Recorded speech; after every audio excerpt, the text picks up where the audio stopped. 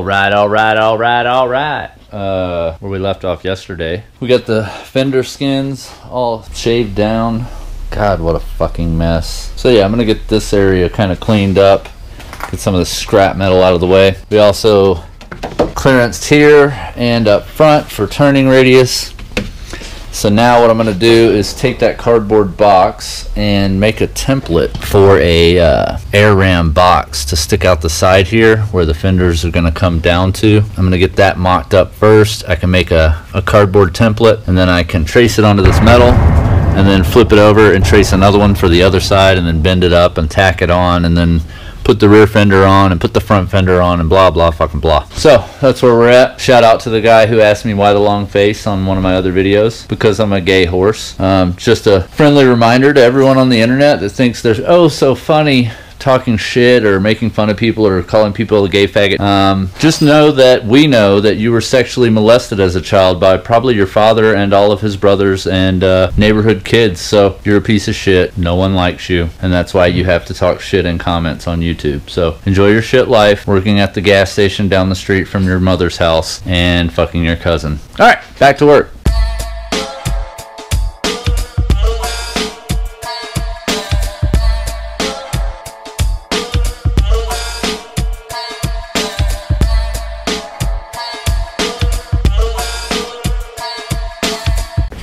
That's much better. Now, we can get to work on the side. Need a tape measure and a razor blade and uh, a marker.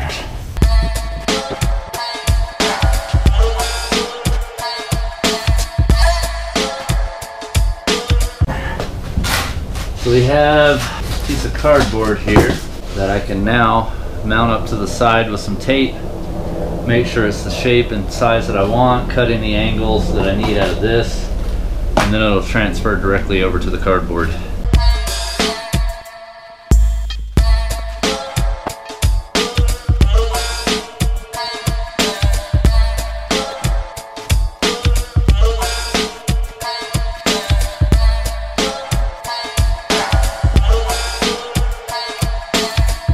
Okay, so now that I've got the general template marked out, I can double the width, trace it onto the sheet metal, then flip it over, trace it again, and then I'll have two pieces I can cut out, one for each side, and then that will match up with the wide body fender. And once I tack these in place, then I can start tacking the rear fender into place. So now, to trace them to the sheet metal, and then I can cut them out. So here we go.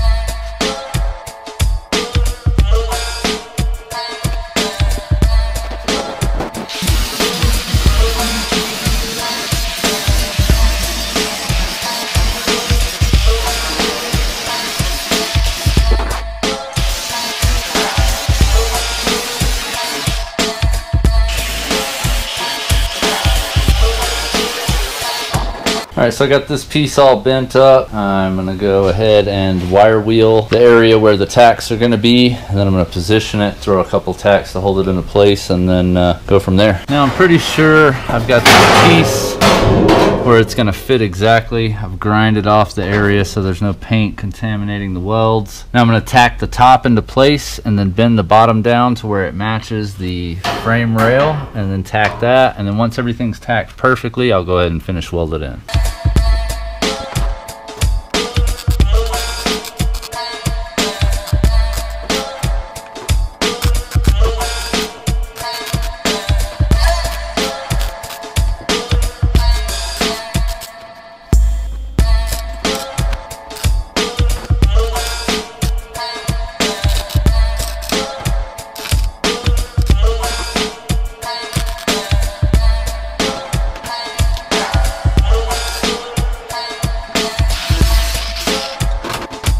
Alright, one side done. Now I can uh, probably put on the other side, make sure they're both on and lined up the right way. And then I can uh, put on the rear fenders and then make the spacers for the front fenders and get those tacked on and then uh, should be done. Alright, got this side all welded on, sprayed out.